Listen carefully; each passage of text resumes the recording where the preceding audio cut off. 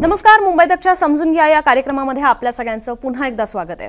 नुकताच India Today C वोटरचा mood of the nation हा सर्वे आलेला आहे आणि या सर्वेमध्ये महाराष्ट्राच्या दृष्टीने जे जे प्रश्न विचारण्यात आलेले होते त्या प्रश्नांची जी उत्तरं सापडलेली आहेत ती जाणून घेणं फार महत्त्वाचं आहे आणि त्यातल्याच प्रत्येक प्रश्नाची उत्तरं या व्हिडिओमध्ये आपण समजून घेणार आहोत. याचं कारण हे आहे की लोकसभा निवडणूक होऊन आता जवळपास महाराष्ट्रामध्ये म्हणजे आपण दोन तीन महिने झालेले आहेत निवडणूक होऊन आणि त्याच्या दृष्टीने आपण पाहतोय की लोकसभा निवडणुकांमध्ये ज्या काही गोष्टी गोष्टींची कमतरता राहिलेली असेल किंवा ज्या काही चुका झालेल्या असतील त्याची भरपाई करण्याचा प्रयत्न हा सुरू आहे.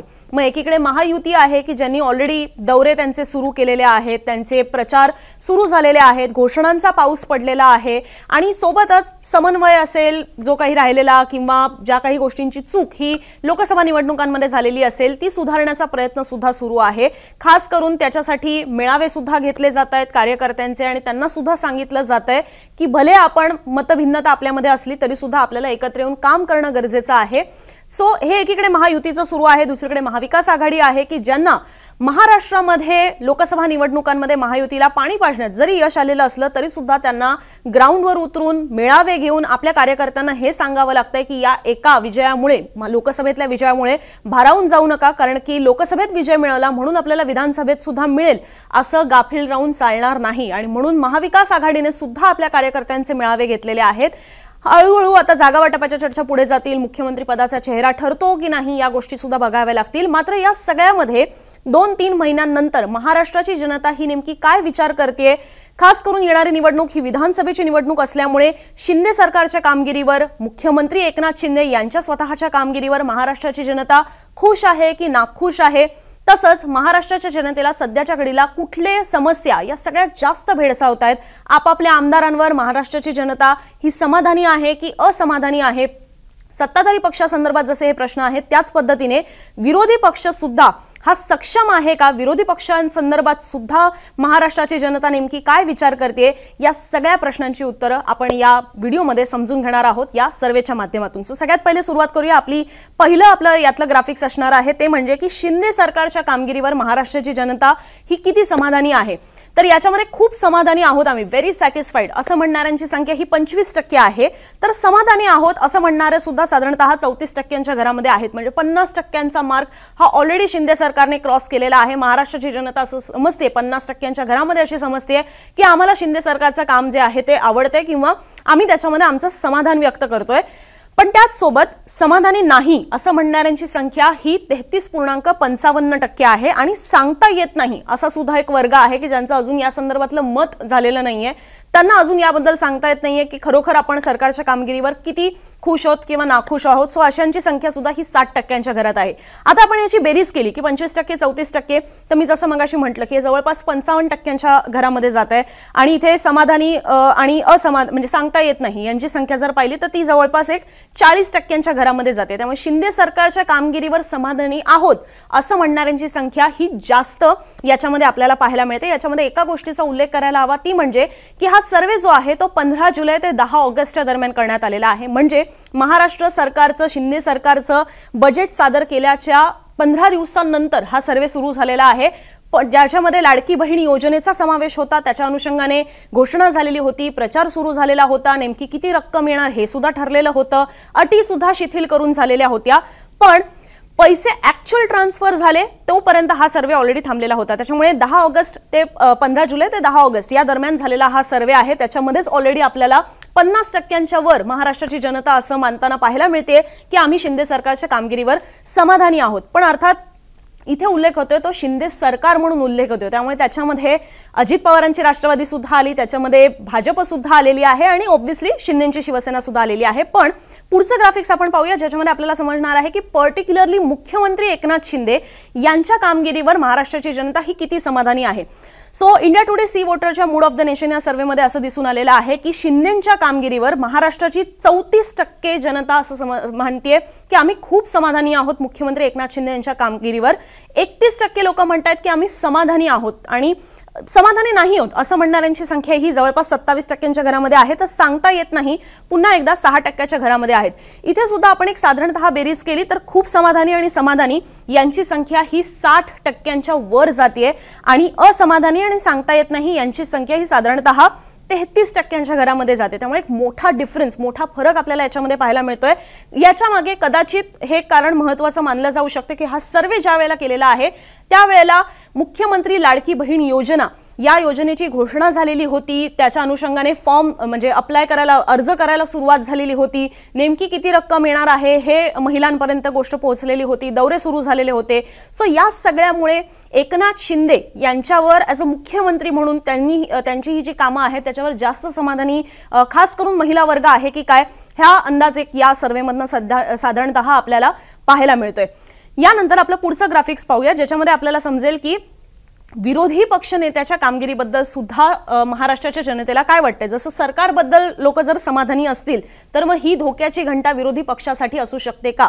ज्यावेळेला हा प्रश्न विचारण्यात आलेला आहे की विरोधी पक्ष नेत्याच्या कामगिरीबद्दल त्यामुळे हा प्रश्न स्पेसिफिकली महाराष्ट्राचा विरोधी पक्ष नेता विधानसभेचा विजय वडेट्टीवार यांना उद्देशून नाही तर संपूर्ण विरोधी पक्ष नेता म्हणून जे विरोधी पक्षातले जे जे नेते आहेत त्यांच्या संदर्भातला हा प्रश्न आहे. ज्याच्यामध्ये आम्ही खूप समाधानी आहोत असं म्हणणाऱ्यांची संख्या ही केवळ दहा पूर्णांक सत्त्याण्णव टक्के इतकीच आहे. हा खूप मोठा धक्का मानता येतोय या इंडिया टुडे सी वोटरच्या सर्व्हेमधनं विरोधी पक्षासाठी महाविकास आघाडीसाठी समाधानी आहोत असं म्हणणाऱ्यांची संख्या ही जवळपास एकवीस टक्के आपल्याला पाहायला मिळते असमाधानी आम्ही समाधानी नाही विरोधी पक्षाची जी कामगिरी आहे असं म्हणणारे तीस टक्के आहेत महाराष्ट्रातले.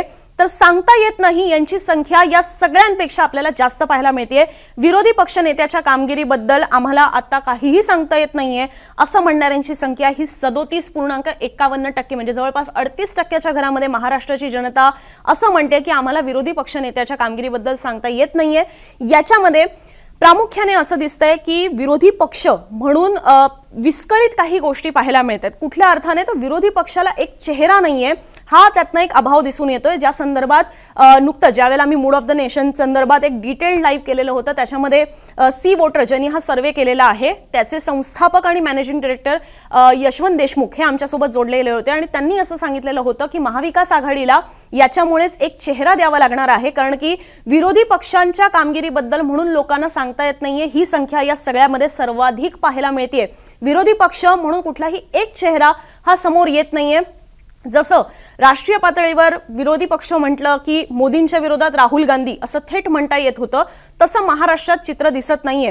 फक्त उद्धव ठाकरे आहेत का? तर तसं नाहीये. तिथे शरद पवार सुद्धा आहेत. म्हणून फक्त शरद पवार आणि उद्धव ठाकरे आहेत का? तर तसं नाहीये. काँग्रेस सुद्धा आहे. पण या तिघांचा मिळून एक चेहरा असा नाहीये. त्यामुळे असं सुद्धा म्हटलं जात आहे की या डेटामुळे किंवा ह्या जो आता सर्वे दिसतोय त्याच्यामुळे कदाचित महाविकास आघाडीला एक चेहरा हा जो आहे तो द्यावा लागू शकतो. अर्थात याच्याबद्दलचं डिटेल्ड अनालिसिस तुम्ही यशवंत देशमुख यांची मुलाखत मुंबई तकवर आजच आज पुन्हा एकदा झालेली आहे. ती सुद्धा तुम्ही पाहू शकणार ज्याच्यामध्ये तुम्हाला याच्याबद्दल आणखीन डिटेल्ड विश्लेषण जे आहे ते पाहता येईल. मात्र महाविकास आघाडीसाठी हे नक्कीच टेन्शन देणारं आहे की समाधानी किंवा खूप समाधानी आहोत असं म्हणणाऱ्यांची संख्या ही निव्वळ दहा टक्केच आपल्याला याच्यामध्ये पाहायला मिळते. त्यामुळे विरोधी पक्ष म्हणून त्यांना आणखीन आक्रमक होण्याची गरज आहे का? आणखीन मुद्दे उचलणं गरजेचं आहे का? स्वतःमध्ये समन्वय बांधून तिघांनी मिळून प्रॉपर मुद्दे हायलाईट करणं गरजेचं आहे का? ना की प्रत्येक पक्ष वेगवेगळा मुद्दा हायलाईट करतोय किंवा प्रत्येक पक्षाचे वेगवेगळे नेते होऊन बोलतायत कोणीही एक चेहरा नसणं ह्याचा सुद्धा कुठेतरी फटका बसतोय का? हे सुद्धा सगळे मुद्दे विचारात घेणं गरजेचं आहे. खास करून जेव्हा अधिवेशनं होतात तेव्हा त्याच्यामध्ये सुद्धा विरोधी पक्ष नेता म्हणून सुद्धा किती अग्रेसिव्हली मुद्दे मुद्दे मांडले जात आहेत. त्याबद्दल सुद्धा या सगळ्या सर्वेमधनं आपल्याला पाहायला मिळते की नेमकं महाराष्ट्राची जनता काय म्हणते याच्यात सगळ्यात चिंताजनक गोष्ट ती म्हणजे की सांगता येत नाही म्हणणाऱ्यांची संख्या ही सदोतीस टक्के आहे. याच्यातला एक मुद्दा अजून हायलाईट करायला हवा जो यशवंत देशमुख यांनीच सांगितलेला आहे ज्यांनी हा सर्वे केलेला आहे. की नॅशनल लेवलला जे लोकसभा निवडणूक जी नुकतीच झालेली होती त्याच्यामध्ये जे मॅन्डेट देशाच्या जनतेने दिलेलं आहे तर ते असं मॅन्डेट का आलं? म्हणजे एक्झिट पोल वेगळे दिसत होते पण ऍक्च्युअल निकाल वेगळा लागलेला आहे. तर ते तसं का दिसून आलं? या हे सांगताना सुद्धा या सर्वेजमधनं त्यांना असं समजलेलं आहे की लोकांना हे सर्वे करताना सी वोटरला असं लक्षात आलेलं आहे की लोकांना राष्ट्रीय पातळीवर किंवा एकंदरीतच एक सक्षम विरोधी पक्ष हवा होता असं कुठेतरी त्यांना या सर्वेमधनं दिसून आलेलं आहे. त्यामुळे एकीकडे जर आपण पाहिलं तर लोक असा विचार करत आहेत की एक सक्षम विरोधी पक्ष सुद्धा असायला हवा. लोकसभा निवडणुकांमध्ये महाराष्ट्राच्या जनतेने सुद्धा साधारणतः तसाच कौल दिला. पण ज्या वेळेला विधानसभेच्या दृष्टीने हे प्रश्न विचारण्यात आलेले आहेत त्यावेळेला मात्र इथे दिसून येत आहे की विरोधी पक्षाच्या कामगिरीबद्दल महाराष्ट्राच्या जनतेला काहीही सांगताच येत नाहीये याचं प्रमाण हे याच्यामध्ये सर्वाधिक आहे. यानंतर पुढचे ग्राफिक्स पाहूया ज्याच्यामध्ये विचारण्यात आलेलं होतं की तुमच्या आमदारांच्या कामगिरीबद्दल तुम्हाला काय वाटतं? आणि हा आकडा फार सरप्राईझिंग आहे कारण की बरेचसे आमदार हे रिपीट असतात आपल्याकडे. अनेकदा निवडून आलेले असतात. सो अँटी इन्कम्बन्सीबद्दल बऱ्याचदा चर्चा केली जाते. मात्र हा प्रश्न ज्यावेळेला इंडिया टुडे सी वोटरच्या मूड ऑफ द नेशन सर्व्हेमध्ये विचारण्यात आला त्यावेळेला खूप समाधानी आहोत असं म्हणणाऱ्यांची संख्या ही जवळपास एक्केचाळीस टक्के इतक्या मोठ्या प्रमाणात आहे. त्यामुळे लोकसभा निवडणुकांमध्ये तुम्हाला लक्षात असेल की देवेंद्र फडणवीस यांनी महायुतीचा महाराष्ट्रात जो निराशाजनक कामगिरी झाली त्याच्यामधलं एक कारण हे सुद्धा सांगितलेलं होतं की आम्ही अँटी इन्कम्बन्सी जी आहे ती ओळखायला कमी पडलो किंवा आम्ही ती सुरुवातीच्या वेळेला आम्ही ती ओळखू शकलो नाही. हीच गोष्ट आमदारांच्या बाबतीत जर बोलायचं झालं तर इथे मात्र तशी परिस्थिती पाहायला मिळत नाहीये. एक्केचाळीस टक्के लोक असं मानतायत की आमच्या काम आमदाराची कामगिरी ही चांगली आहे किंवा आम्ही त्याच्यावर खूप समाधानी आहोत असं एक्केचाळीस टक्के लोक म्हणतात समाधानी आहोत असं म्हणणाऱ्यांची संख्या सुद्धा सव्वीस टक्के इतकी आहे. म्हणजे एक्केचाळीस आणि सव्वीस साधारणतः आपण पाहिलं तर हे प्रमाण सुद्धा सहासष्ट टक्क्यांपर्यंत जातं. समाधानी नाही होत असं म्हणणारे सत्तावीस टक्के आहेत आणि सांगता येत नाही असं म्हणणाऱ्यांची संख्या सुद्धा पाच टक्क्यांच्या घरामध्ये पाहायला मिळते. त्यामुळे आता बघायला हवं की असा सर्वे जर त्या त्या पक्षांच्या सुद्धा सर्वे करणाऱ्या लोकांमधनं दिसून आला तर आपल्याला बघावं लागणार आहे की किती आमदार हे रिपीट होतील आणि कुणाला रिपीट केलं जाणार नाही हे सुद्धा आपल्याला कदाचित त्यातनं समजू शकणार आहे. यानंतर पुढचा ग्राफिक्स आहे ज्याच्यामध्ये समजतंय की आज लोकसभा निवडणूक ही जर महाराष्ट्रात झाली तर मतांची टक्केवारी ही काय असू शकते? आता त्याच्यासाठी आपल्याला ही लोकसभा निवडणूक जी नुकतीच झालेली आहे तीन महिन्यांपूर्वी त्याची आकडेवारी बघायला हवी. सो लोकसभा निवडणुकांमध्ये महायुतीला मतांची टक्केवारी जी ती आहे त्यांची ती त्रेचाळीस पूर्णांक पंचावन्न टक्के इतकी होती. जी आत्ता जर लोकसभेची निवडणूक महाराष्ट्रात झाली तर घसरून बेचाळीस टक्क्यांवर येते असं दिसतंय. हेच महाविकास आघाडीचं जर आपण पाहिलं तर लोकसभा निवडणुकांमध्ये महाविकास आघाडीच्या मतांची टक्केवारी ही त्रेचाळीस पूर्णांक एकाहत्तर टक्के होती. ती वाढून उलट चव्वेचाळीस टक्के होत आहेत असं दिसतंय. सो अगदी छोटासा डिफरन्स आहे पण ओव्हरऑल डिफरन्स जर पाहिला तर इथे महायुती आणि महाविकास आघाडीमध्ये आजच्या घडीला जर महाराष्ट्रात लोकसभेची निवडणूक झाली तर दोन टक्क्यांचा फरक आपल्याला याच्यामध्ये पाहायला मिळतोय. जे ऍक्च्युअल लोकसभा निवडणूक झाली त्यावेळेला सुद्धा महाराष्ट्रामध्ये महायुतीच्या खास करून फडणवीस सारख्या फडणवीसांसारख्या नेत्यांकडनं सांगण्यात येत होतं की अगदी काही पॉईंटचा डिफरन्स आहे आमच्या मतांच्या टक्केवारीमध्ये जो आपल्याला इथे साधारणतः पाहायला मिळतोय. पण जर आजच्या घडीला पुन्हा महाराष्ट्रात निवडणूक झाली तर मात्र आपल्याला इथे दोन टक्क्यांचा फरक जो आहे तो पाहायला मिळतो ज्याच्यामुळे दिसायला कदाचित हा दोनच टक्क्यांचा फरक वाटेल पण ह्याचं सीट्समध्ये कन्व्हर्जन करायचं झालं तर अनेक सीट्समध्ये जवळपास दहा ते वीस सीट्समध्ये सुद्धा त्याचा फटका जो आहे तो बसू शकतो. त्यामुळे ही सुद्धा एक महायुतीसाठी थोडी टेन्शन देणारी गोष्ट आहे. यानंतर हेच जर आपण जागांच्या बाबतीत पाहिलं की आजच्या घडीला महाराष्ट्रात जर लोकसभेची निवडणूक झाली नॅशनली झाली तर महाराष्ट्रामध्ये त्याचे काय परिणाम असू शकतात? तर याच्यामध्ये भाजपला बारा जागा मिळतील असं प्रेडिक्ट करण्यात आलेलं आहे सी वोटरच्या सर्व्हेमध्ये शिवसेना शिंदेची आणि अजित पवारांची राष्ट्रवादी. अलायन्स पार्टनर्स मिळून त्यांची संख्या सहावर आहे. काँग्रेसची संख्या सोळा दाखवण्यात आलेली आहे. तर हे शिवसेना युबीटी आणि राष्ट्रवादी एसपी यांची संख्या चौदा दाखवण्यात आलेली आहे. आता याच्यामध्ये फरक समजून घेणं गरजेचं आहे. तो म्हणजे की भाजपचे स्वतःचे नऊ खासदार निवडून आलेले होते. पण आजच्या घडीला जर लोकसभेची निवडणूक झाली तर उलट त्यांचे तीन वाढतायत. असं सी वोटरच्या सर्व्हेमध्ये इथे दाखवण्यात आलेलं आहे की ते नऊवरनं बारावर जातील.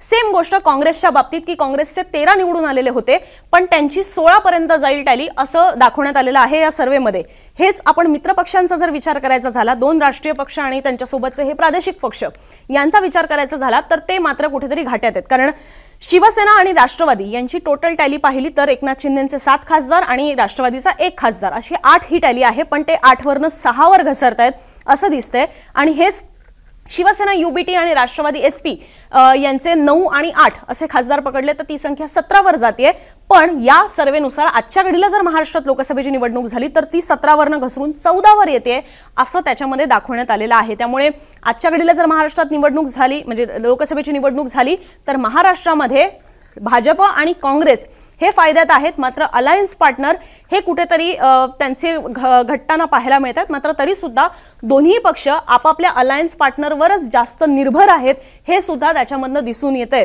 भाजप असेल किंवा काँग्रेस असेल दोघांनाही खूप त्यांच्या स्वतःच्या जोरावर खासदार येतील असं चित्र दाखवण्यात आलेलं नाहीये. तर त्यांना सुद्धा आपल्या मित्रपक्षांचीच साथ घ्यावी लागणार आहे. हे दिसतंय. भाजप विरुद्ध काँग्रेस बघायचं झालं तर काँग्रेसचे जास्त खासदार येतील असं दिसतंय.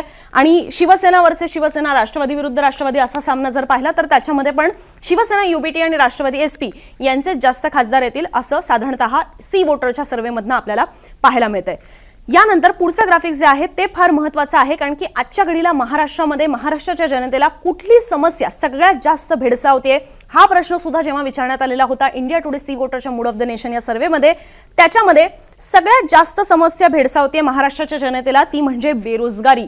आणि म्हणूनच आपल्याला कदाचित आरक्षणाचा मुद्दा हा महाराष्ट्रामध्ये जास्त तापलेला पाहायला मिळतो कारण की महाराष्ट्राच्या बत्तीस टक्के जनतेला बेरोजगारीची समस्या ही सगळ्यात जास्त भेडसावते त्या खालोखाल नंबर लागतोय महागाईचा आणि विकासाचा. विकास हा मुद्दा आम्हाला फार महत्त्वाचा वाटतो. तसंच महागाई वाढते ही सुद्धा एक चिंतेची गोष्ट आहे असं सुद्धा महाराष्ट्राची जनता विचार करते त्या खालोखाल लागतो सांगता येत नाही म्हणणारे सुद्धा आहेत पण तेरा टक्के लोक म्हणत आहेत की शेतकऱ्यांचे प्रश्न फार्म इश्यूज हा सुद्धा आम्हाला खूप मोठी भेडसावणारी समस्या आहे. त्यामुळे बेरोजगारी बत्तीस टक्के शेतकऱ्यांचे प्रश्न तेरा टक्के हा एक ग्रामीण पट्ट्याचा विचार करायचा झाला तर खूप चिंताजनक गोष्ट आहे. त्याचसोबत भ्रष्टाचार किंवा आर्थिक स्थिती हे सुद्धा चार ते पाच टक्क्याच्या मध्ये प्रमाण आहे. कायदा आणि सुव्यवस्था ही परिस्थिती आम्हाला भेडसावते असं म्हणणाऱ्यांची संख्या सुद्धा दोन टक्क्याच्या घरामध्ये आहे. सो बेसिकली ओव्हरऑल विचार करायचा झाला तर बऱ्याचदा महाविकास आघाडीकडनं खास करून राष्ट्रवादी काँग्रेस शरदचंद्र पवार या पक्षाकडनं भ्रष्टाचार बेरोजगारी आणि महागाई या तीन मुद्द्यांचा उल्लेख हा वारंवार केला जातो. आणि त्याचं प्रमाण जर आपण पाहिलं तर बत्तीस टक्के पंधरा टक्के चार टक्के हेच इटसेल्फ पंधरा पन्नास टक्क्यांच्या वर जाताना आपल्याला पाहायला मिळते त्यामुळे हे काही मुद्दे आहेत की जे सुद्धा आपल्याला कदाचित जाहीरनामा त्याच्यामध्ये पाहायला मिळतील किंवा प्रचारादरम्यान सुद्धा जी भाषणं होतात त्याच्यामध्ये हे मुद्द्यांवर जास्त फोकस असलेला आपल्याला पाहायला मिळेल. तर हा होता इंडिया टुडे सी वोटरचा मूड ऑफ द नेशन. हा अतिशय महत्त्वाचा सर्वे. अर्थात हा प्राथमिक सर्वे आहे. अजून निवडणूक ही जसजशी जवळ येत जाईल आणखीन गोष्टी क्लिअर होतील प्रचाराचा एक टोन सेट होईल जागा वाटप ठरेल मुख्यमंत्रीपदाचा चेहरा जाहीर होतो की नाही हेही बघावं लागेल. त्या अनुषंगाने आणखीनही काही ओपिनियन पोल्स हे नक्कीच येणार आहेत. जसा हा सी वोटरचा सर्वे आम्ही तुमच्यासमोर ठेवलेला आहे तसं इतरही संस्था ज्या ज्या वेळेला हे सगळे सर्वेस करतील मुंबई तकवर तुम्हाला त्या सगळ्या संदर्भातली माहिती ही पाहता येणार आहे आणि निव्वळ माहिती नाही तर त्याचं विश्लेषण सुद्धा आम्ही करत राहणार आहोत. इंडिया टुडे सी वोटरच्या मूड ऑफ द नेशन या सर्वे संदर्भामध्ये सी वोटरचे संस्थापक यशवंत देशमुख तसंच ज्येष्ठ राजकीय पत्रकार आणि अर्थातच इंडिया टुडेचे कन्सल्टिंग एडिटर राजदीप सरदेसाई आणि मुंबई तकचे संपादक साहिल जोशी यांची चर्चा सुद्धा तुम्हाला मुंबई तकवर लाईव्ह सेक्शनमध्ये गेलात तर पाहता येणार आहे. समजून घ्यामध्ये सध्या आम्ही इथेच थांबतोय. तुमच्या या सर्वे संदर्भातल्या प्रतिक्रिया तुम्ही कॉमेंट बॉक्समध्ये जरूर टाका आणि हा व्हिडिओ पाहिल्याबद्दल खूप खूप धन्यवाद.